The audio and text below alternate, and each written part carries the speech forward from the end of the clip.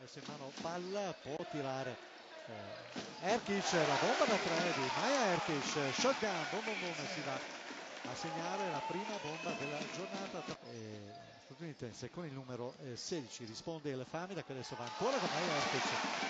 Eh, canestro, i primi 5 punti del Famida sono firmati tutti dalla slovena, Lape Maia che è chiamata da queste parti. Eh, McCarvey il numero 8, poi bello questo assist ancora, c'è un altro canestro intanto Vai Ertic su assist. Di Cohen.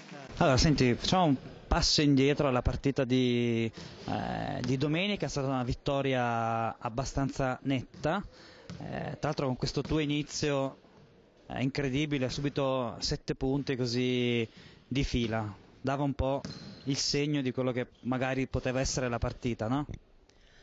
Uh, ma sì, dai, uh, buo- uh, iniziamo buona domenica e poi quando inizia buono tutto il resto arriva così si- semplice. buona partita, primo, primo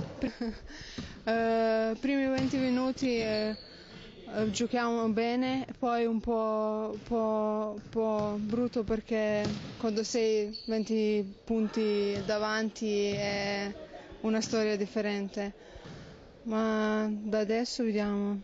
Senti, questi due giorni di lavoro, su cos'è che avete lavorato di più?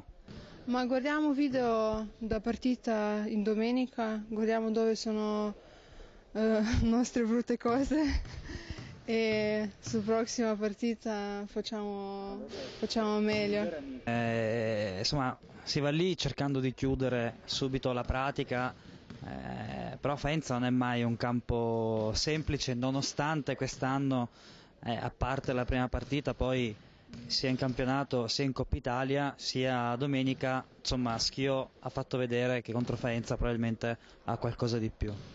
Sì, è vero, questo campo è, è più duro, eh, però il nostro gold è che vinciamo e chiudiamo questo, eh, questo primo, pr- seconda gara con vittoria e poi avanti.